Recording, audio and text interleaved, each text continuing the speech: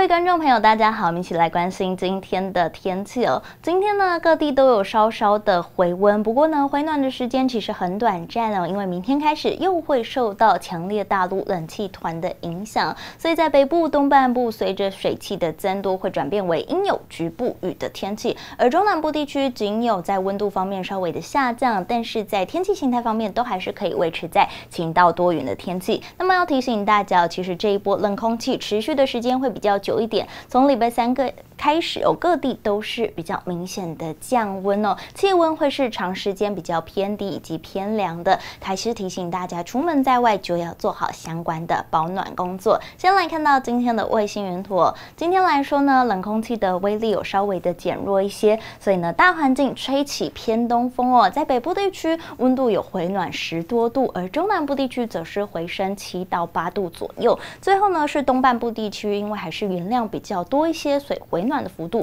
仍是比较有限一些哦。那么在明天呢，又会受到强烈大陆冷气团南下的影响，所以冷空气发威哦。其实全台各地又会有感的降温。那么呢，又。伴随着水汽的增多，所以北部东半部又会转变为阴有局部雨的天气，而中南部地区我们可以看到比较不受到影响，仍是可以维持晴到多云的天气。礼拜四、礼拜五则是水汽稍微比较减少，降雨的空档会开始有所的出现，而降雨的范围也会限缩在桃园以北以及宜兰地区哦。而礼拜六、礼拜天则是冷空气的威力减弱，各地的温度会开始往上回升。再来要提醒大家，今天。深夜到明天的上午，有封面的尾端会来掠过北部的海面哦，所以北部天气会率先的转变为比较不稳定，而紧接着水汽的增多也会影响到东半部地区，所以我们可以看到呢，未来一周的这个降雨模拟状况哦，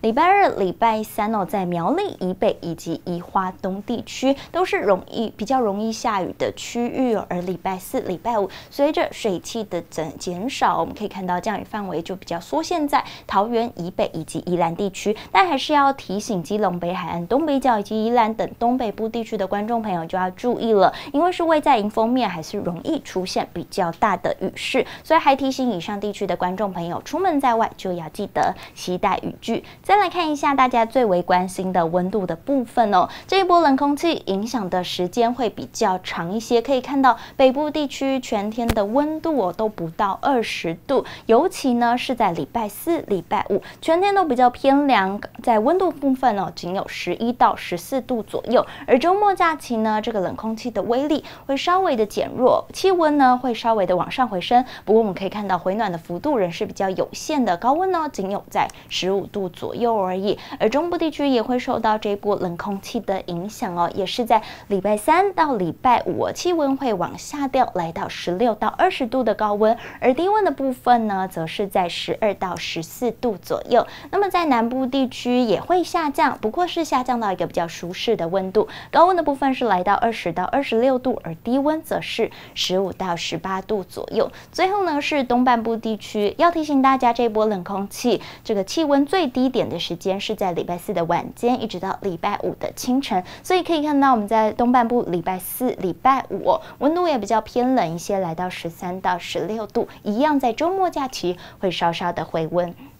那么要也是也要提醒各位观众朋友了，礼拜六、礼拜天虽然各地都会有所回温，不过呢，除了南部地区之外，其他各区的高温还是不到二十度。所以呢，如果您是心血管疾病的患者，或者是家中有年长者以及孩童的话，就要注意做好相关的保暖工作，也要注意身体健康。最后还是要提醒大家哦，因为冷空气强度的影响哦，所以呢，其实沿海的风浪也会有所增大。所以在西半部地区的观众朋友呢，骑车上班的话就要注意安全。最后呢，还是要提醒大家，因为明天呢将会受到封面尾端掠过的影响，北部东半部随着水汽的增加，率先转变为比较不稳定的天气。还提醒苗栗以北以及宜花东地区的观众朋友，明天上班上课就要记得携带雨具了。以上就是今天的播报，我们下次再见。